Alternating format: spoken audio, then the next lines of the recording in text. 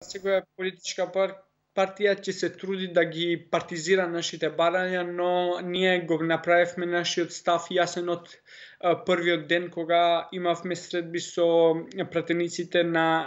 во собрание. Ние нема да дозволиме нашите барања да бидат партизирани затоа што ние се боревме за нашиот сојуз што го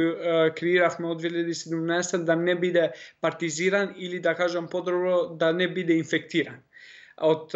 политиката. И тоа ќе го продолжиме да го направиме затоа што треба да да работиме за правата на на на средношколците и да се бориме за подобар подобар и поквалитетен образовен систем, а не да се манипулираме од политичките партии. Тоа што го направивме